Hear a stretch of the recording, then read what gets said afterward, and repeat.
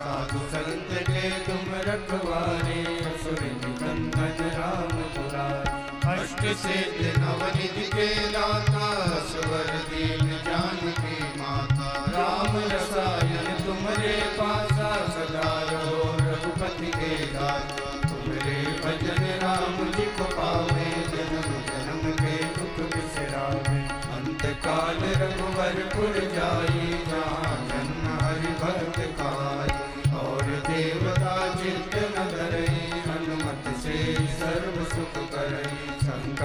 संकट जय सब पीरा, जो सुमिरे हनुमत बलबीर। जय जय जय हनुमान गोसाई, कृपा करो गुरुदेव की जो सत्यवाद पाठ कर कई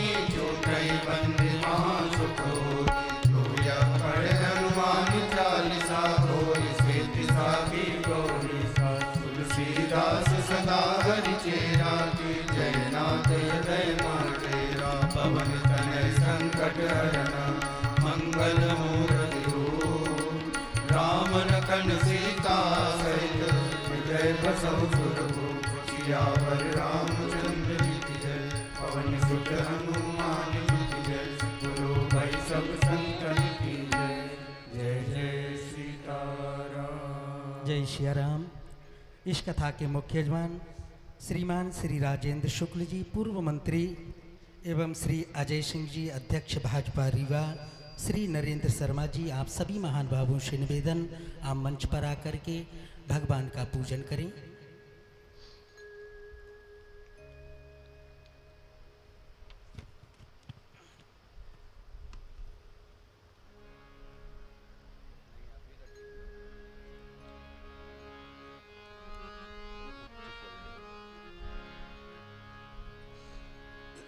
हरिः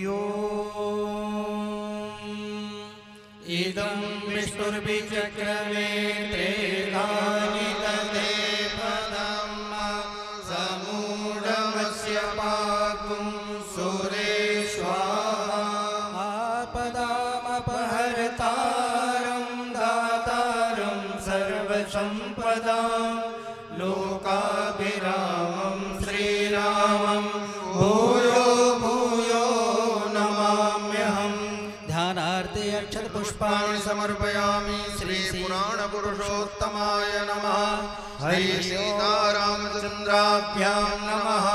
हरि ओं गन्धद्वारां दुरादर्शां नित्यपुष्टां करीषणीम् ईश्वरीं सर्वभूतानां तामिहोपहवे श्रियम् गन्धं समर्पयामि पुष्पं पुष्पमालाम् ॐ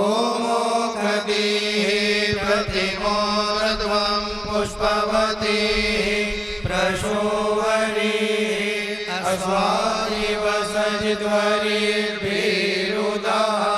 पारविष्णवः पुष्पं पुष्पमालां समर्पयामि श्रीपुराणपुरुषोत्तमाय नमः। हरिः ॐ यो नित्यमच्युतपदाम्बुजयुग्मरुग्मव्यामोहतस्य नितराणि तृणाय मेने अस्मद्गुरोर्भगवतो सदयैकसिन्धो रामानुजस्य चरणौ शरणं प्रपद्ये। माता पिता युवतयस्तनया विभूते, सर्वं यदेव नियमेन मदन्वयानाम्। आदस्य नाकुलपतिर्वकुलाभिरामं श्रीमत्तदङ्ग्रयुगलं प्रणमामि धरशमाकापयवट्टनाथ श्रीभक्तिशारकुलशेखरयोगिवा भक्ताङ्ग्रिरेणुपरकालयतीन्द्रमिश्रान् श्रीमत्पराङ्कुशमुनिं प्रणतोष्म नित्यं गुरुमुखमरदीत्या प्राह वेदानशेषान् नरपतिपरिकृतं शुल्कमादातु कामः ससुरममरवन्द्यं रङ्गनाथस्य साक्षात् दिलकुलतिलकं तं विष्णुचित्तं नमामि। अस्मद्देशिकमस्मदीयपरमाचार्यानशेषान् गुरून् श्रीमल्लक्ष्मणयोगिपुङ्गवमहापूर्णो मुनिं व्यामुनं रामं पद्मविलोचनं मुनिवरं नाथं सठतेषिणं सेनेशं श्रियमिन्दिरासचरं नारायणं संश्रये। वेदान्तदेशिककटाक्षविवेकबोधं कान्तोभयं तयमिना करुणैकपात्रम् भस्सान्नवायमनबद्धगुणैरुपेतं त्या भजामि परवादिभयङ्करार्यं साण्डिल्याभयवं समारितविदुं श्रीमोसले सार्चकं विशासेन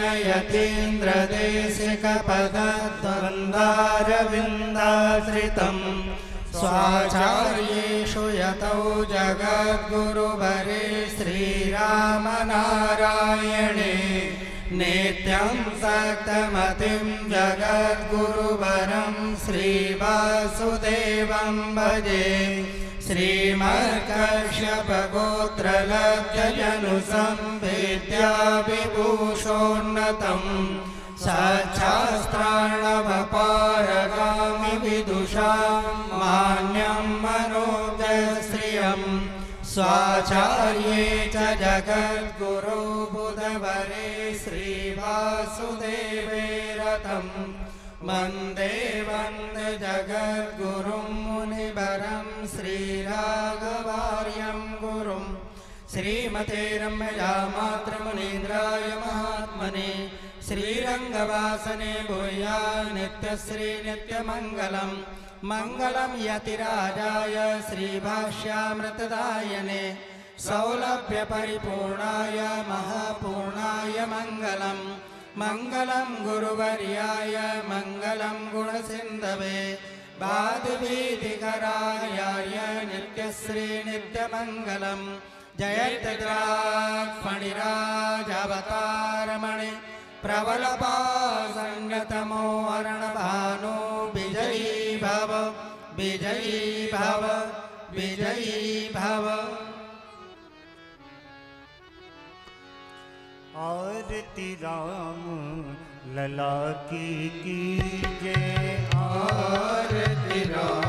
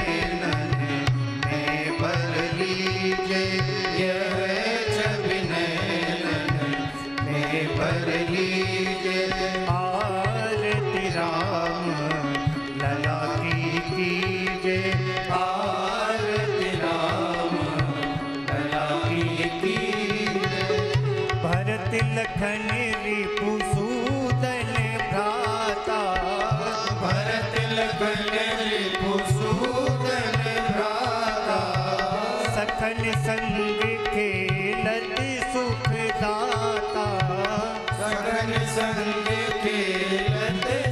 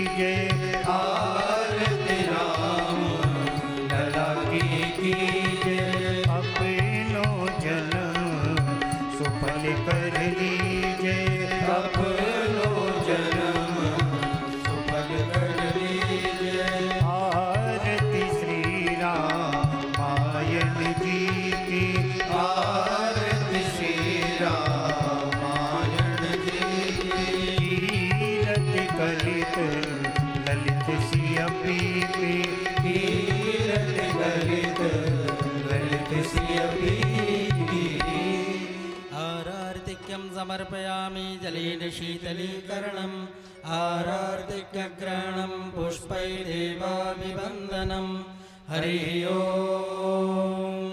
यज्ञेन यज्ञमयजन्त देवास्तानि तानि धर्माणि प्रथमान्यासन्ना तेहनाकं महिमानः। सजन्त यत्र पूर्वे शाक्याः सन्ति देवाः।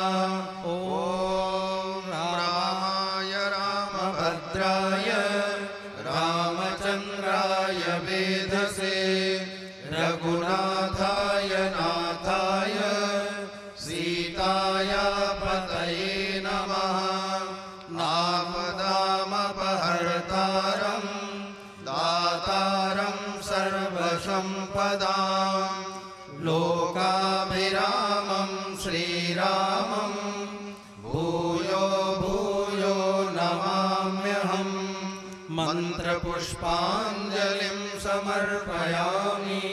श्रीपुराणपुरुषोत्तमाय नमः। श्रीसीतारामचन्द्राभ्यां नमः। बोलिए श्री सीतारामचंद्र भगवान की अयोध्यानाथ भगवान की। श्री राम कथा ज्ञान महायज्ञ की। सत्य सनातन वैदिक धर्म की। अखंड भारत वर्ष की।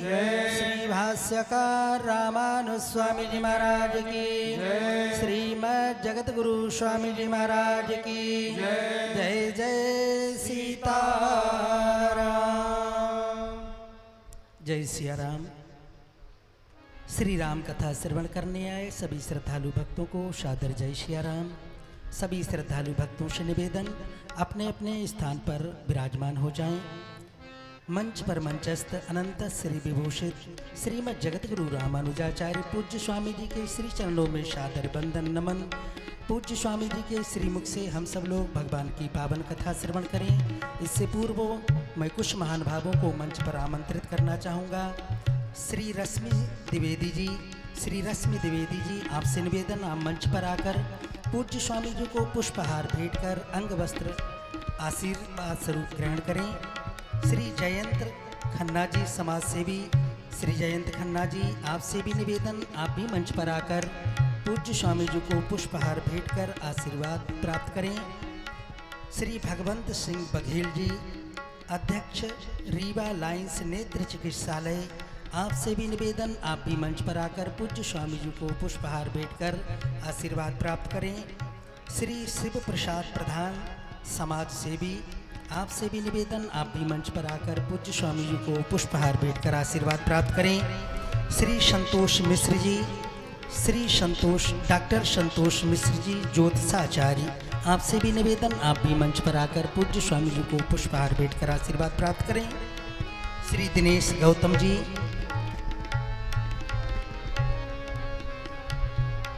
भिलाई से पधारे श्री गार्ग मिश्र जी, आपसे भी निवेदन। आप भी मंच पर आकर पूज्य स्वामी जी को पुष्पहार भेंट कर आशीर्वाद प्राप्त करें। भिलाई से पधारे गार्ग मिश्र जी। श्री दिनेश गौतम जी, दिनेश गौतम जी, आपसे भी निवेदन। आप भी मंच पर आकर पूज्य स्वामी जी को पुष्पहार भेंट कर आशीर्वाद प्राप्त करें। श्री प्रबोध व्यास जी प्रबोध व्यास आपसे भी निवेदन, आप भी मंच पर आकर पूज्य स्वामी जी को पुष्पहार भेंट कर आशीर्वाद प्राप्त करें।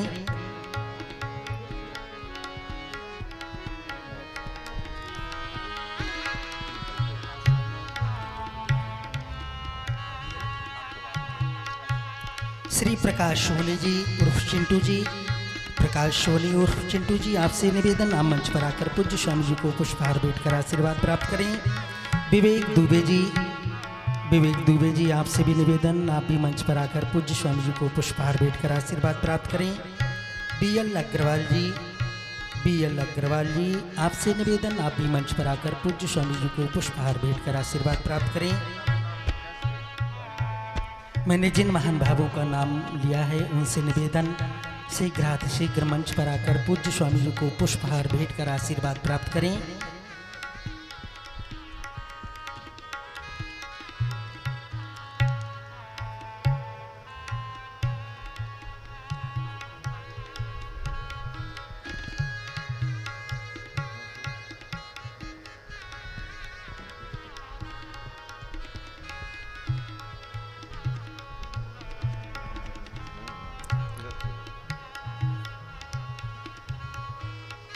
जय श्री राम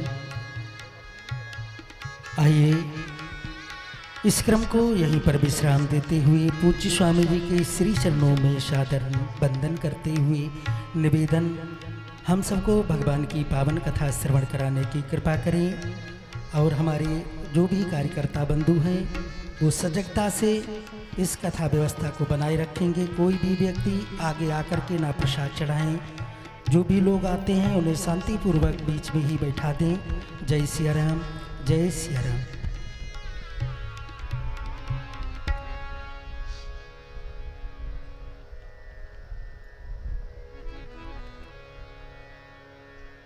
नारायण।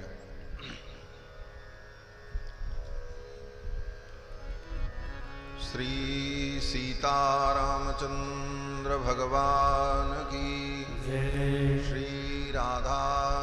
भगवान की। श्री हनुमान जी महाराज की। श्री वाल्मीकि भगवान की।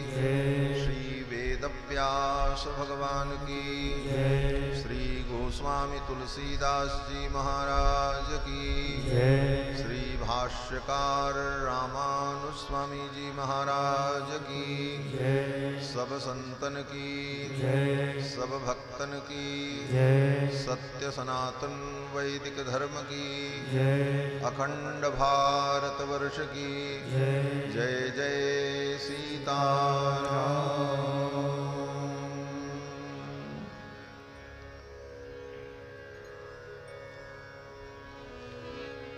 हरि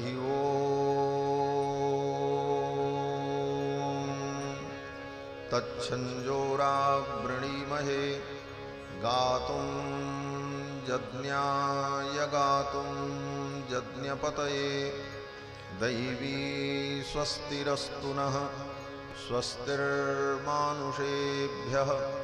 ऊर्ध्वं जिगातु भेषजम् शन्नो अस्त्विद्विपदे सं चतुष्पदे विश्वानि देव सवितर्दुरितानि पराशुव जदभद्रं तन्न आसुव रामाय रामभद्राय रामचन्द्राय वेधसे, रघुनाथाय नाथाय सीतायापतये नमः। रामं रामानुजं सीतां भरतं भरतानुजं, सुग्रीवं वायुसूनुं च प्रणमामि पुनः पुनः। नमोऽस्तु रामाय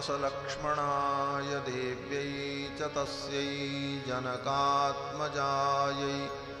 नमोऽस्तु रुद्रेन्द्रयमानिलेभ्यो, नमोऽस्तु चन्द्रार्कमरुद्गणेभ्यः। चरितं रघुनाथस्य शतकोटिप्रविस्तरम्, एकैकमक्षरं प्रोक्तं महापातकनाशनं कूजन्तं राम रामेति मधुरं मधुराक्षरम् आरुह्य कविता शाखां वंदे वाल्मीकिकोकिलं यः पिबन् सततं रामचरितामृतसागरम्।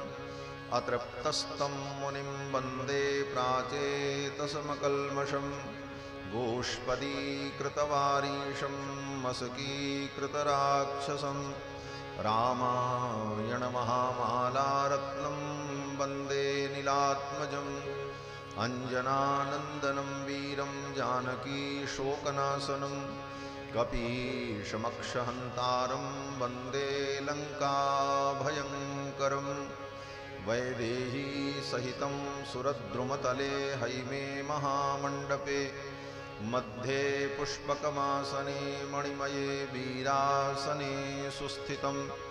अग्रे वाचयति प्रभञ्जनसुते तत्त्वं मुनिभ्यः परं। व्याख्यान्तं भरतादिभिः परिवृतं रामं भजे श्यामलम् आपदामपहर्तारं दातारं सर्वसम्पदां। लोकाभिरामं श्रीरामं भूयो भूयो नमाम्यहं। ऋग्यजुस्सामरूपाय वेदाहरणकर्मणि। प्रणवोद्गीतवपुषे महास्वशिरसे नमः।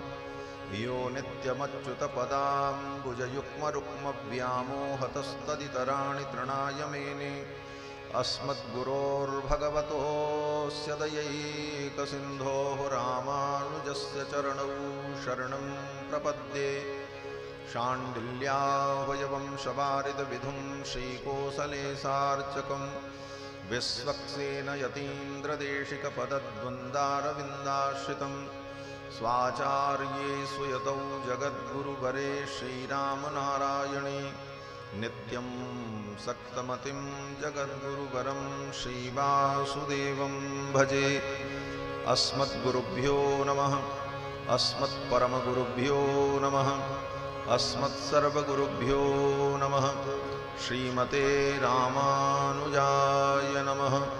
श्रीपराङ्कुशपरकालयतिवरबरबरप्रतिवादिभीकरगुरुभ्यो नमः। श्रीजानकीकान्तस्मरणं श्रीराधाकान्तस्मरणं सन्तपूर्वाचार्याः सहायाः सन्तपूर्वाचार्याः सहायाः।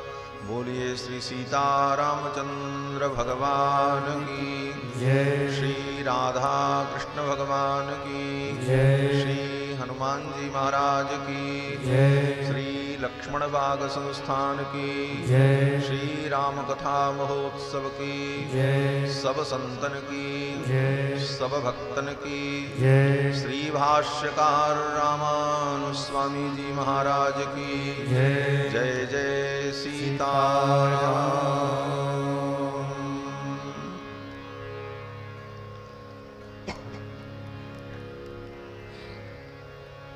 भगवान श्री सीतारामचंद्र जी की मंगलमयी कथा सुधा का हम सभी लोग श्रवण लाभ प्राप्त करें उसके पूर्व कथा की मर्यादा के अनुकूल भगवान के मंगलमय नाम का श्रद्धा भक्ति के साथ संकीर्तन कर लें।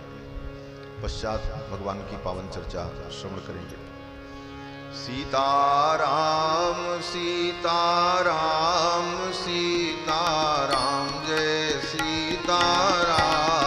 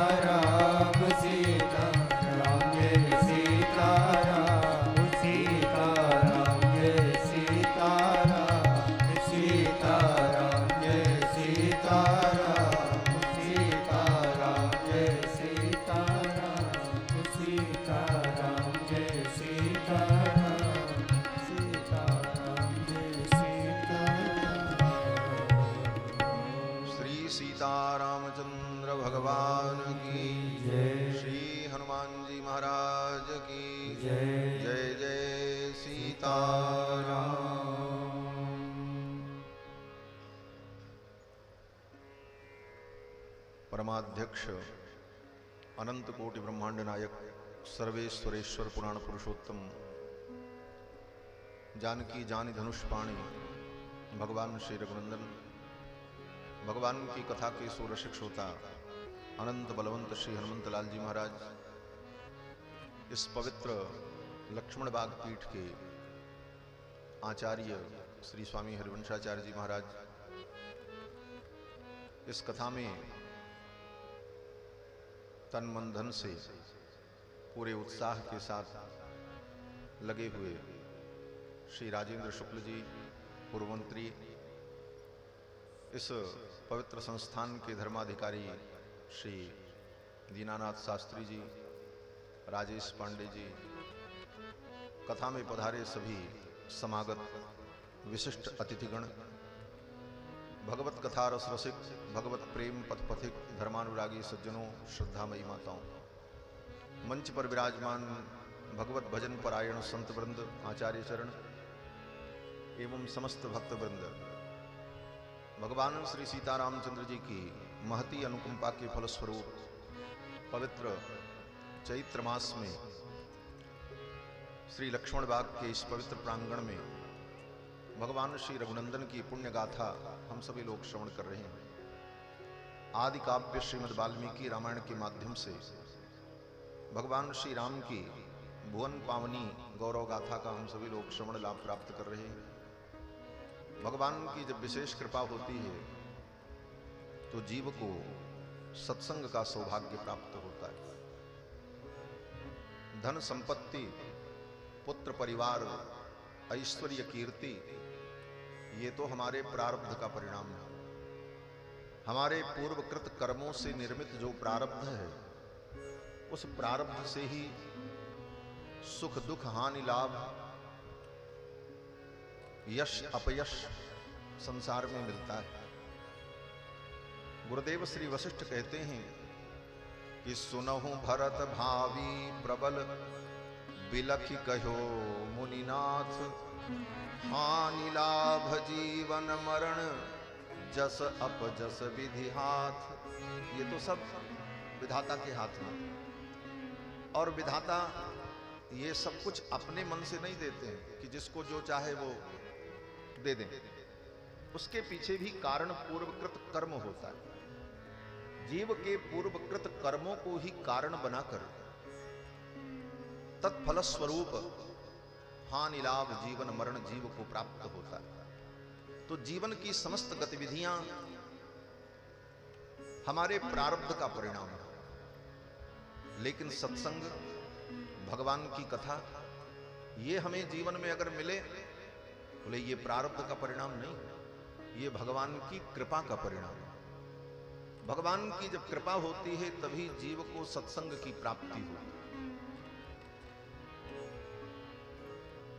बिनु सत्संग विवेक न होई और राम कृपा बिनु सुलभ न सुलभ। भगवान की कृपा होने पर ही जीव को सत्संग की प्राप्ति होती भगवान जब जीव को जन्म मरण के चक्कर में पुनरपि जननम, पुनरपि मरणम, पुनरपि जननी जठरे शयनम, इस चक्र में भ्रमण करते हुए जीव को देखकर जब भगवान को दया आती है,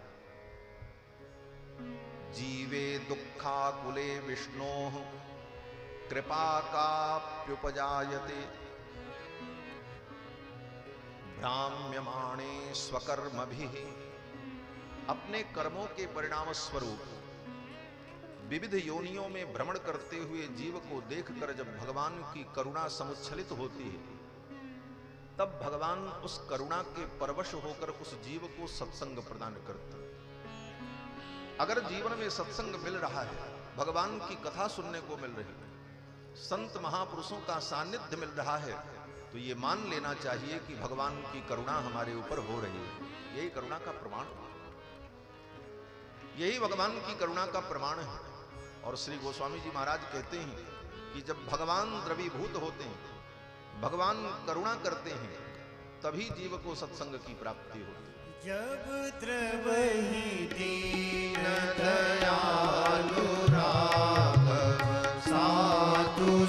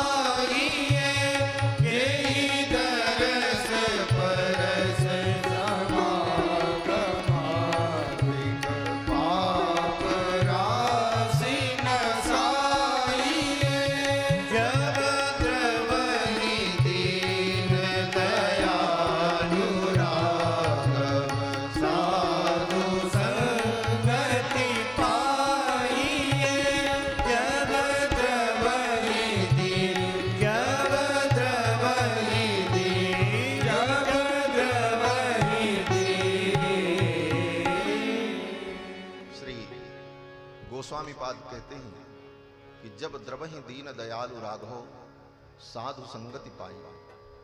जेहि दरस परस समागमादिक पाप राशि नसाई तो भगवान की जब करुणा होती है तो तभी जीव को सत्संग की प्राप्ति होती है। और यही बात देवर्षि नारद कहते हैं। श्रीमद् भागवत महापुराण के महात्म्य में कहते हैं कि भाग्योदयेन बहुजन्म समर्जितेन सत्संगमं च लभते पुरुषो यदा वै। अज्ञानहेतुकृतमोहमदान्धकार। नाशं विधाय हि तदोदयते विवेकः। देवर्षि नारद कहते हैं, जब जीव का भाग्योदय होता है, अनेक जन्मों के उसके पुण्य प्रकट होते हैं और भगवान की करुणा समुच्छलित होती है। तब जीव को सत्संग की प्राप्ति हो और सत्संग में आकर अज्ञान हेतु कृत मोह मदांधकार। अज्ञान का जो हेतु है, मोह, उस मोह का विनाश होता है। अज्ञान हेतु कृत मोह मदांधकार नाशम विधाय ही तदोदयते विवेक। और मोह के नाश होने पर विवेक की उत्पत्ति होती है विवेक क्या है? सामान्यतया विवेक का मतलब लोग यही समझते हैं, विवेक माने क्या ज्ञान। जानकारी। विवेक का अर्थ है, सार और असार में भेद को समझने वाली जो बुद्धि है, उस बुद्धि का नाम विवेक है। सार क्या है, असार क्या है?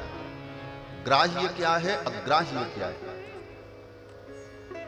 क्या त्याज्य है, क्या ग्राह्य है?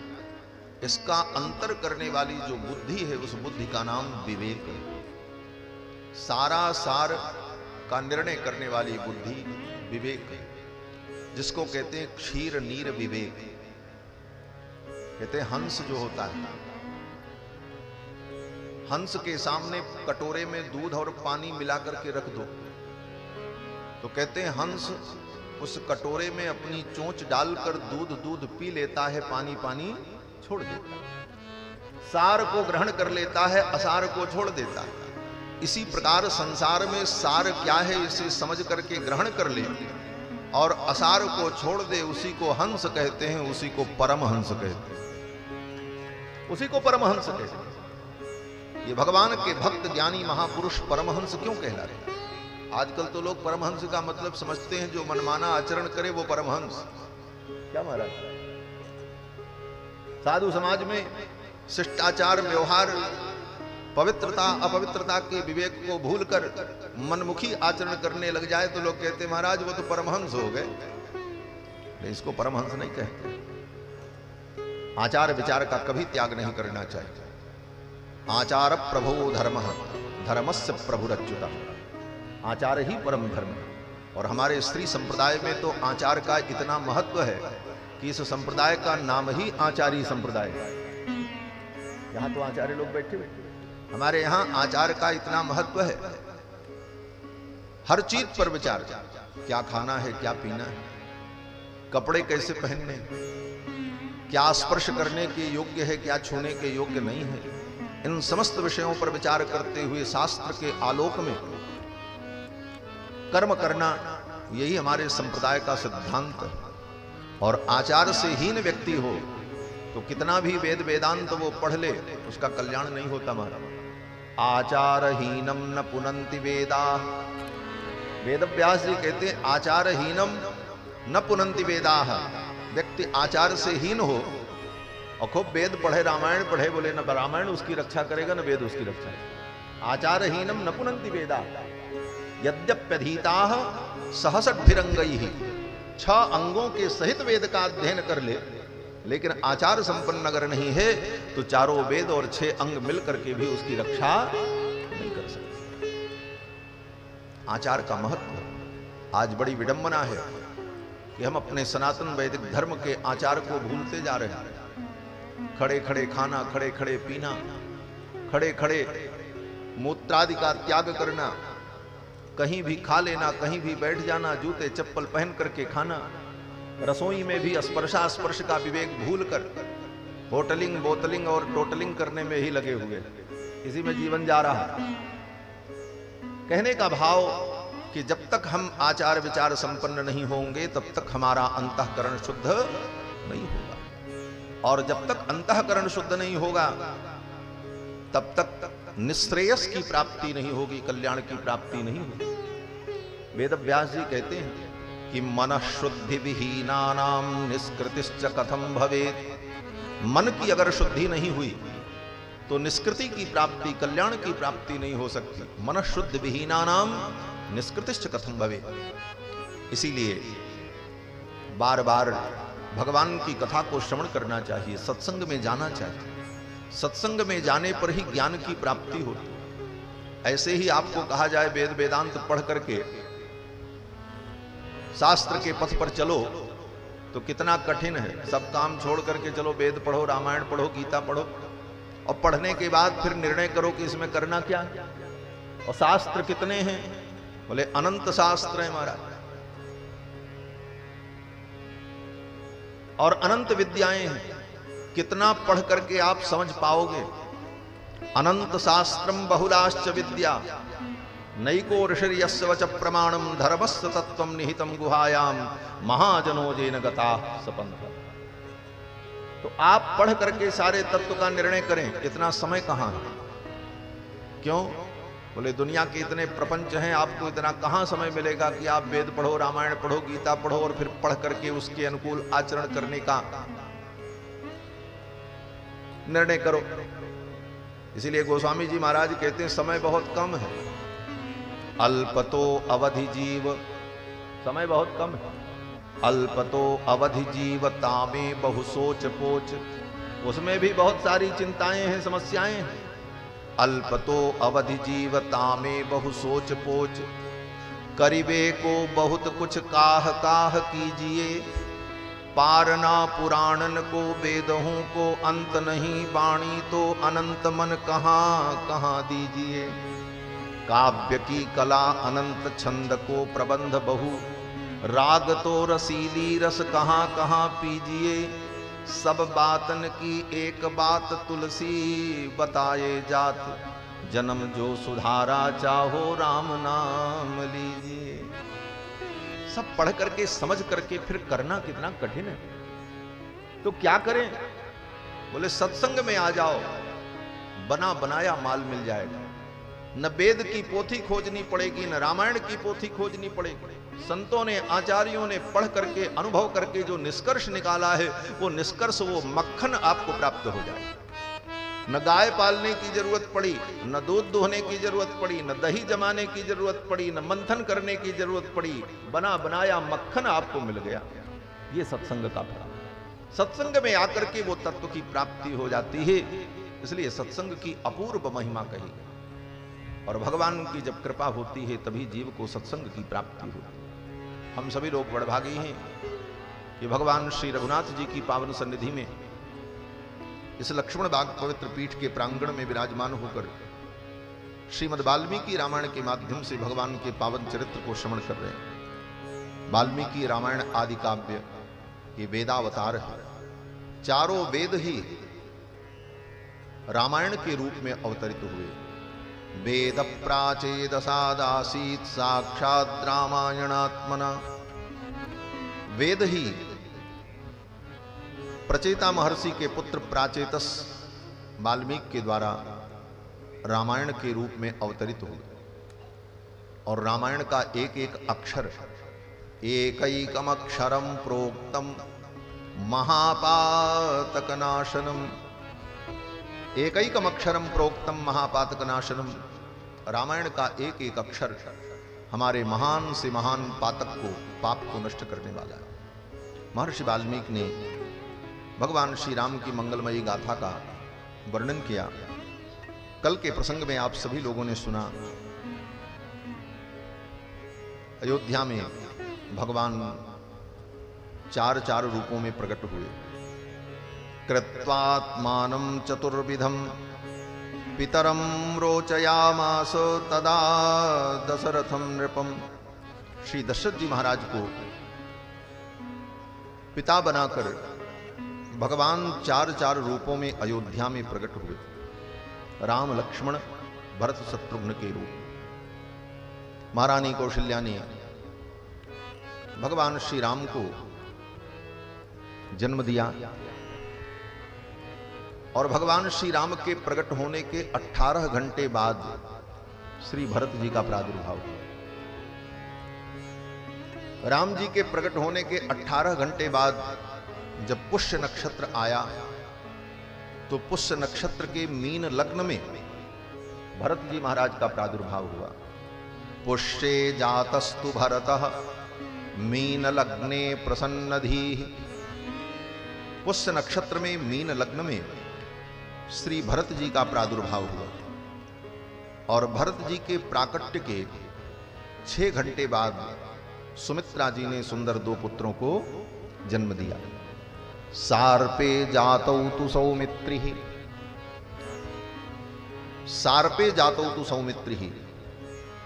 सार्प नक्षत्र में, जिस नक्षत्र के देवता सर्प हैं, ऐसे नक्षत्र में श्री लक्ष्मण जी का और शत्रुघ्न जी का प्रादुर्भाव हुआ सार्प नक्षत्र माने श्लेषा नक्षत्र। पुनर्वसु पुनर्वसु के बाद पुष्य और पुष्य के बाद श्लेषा।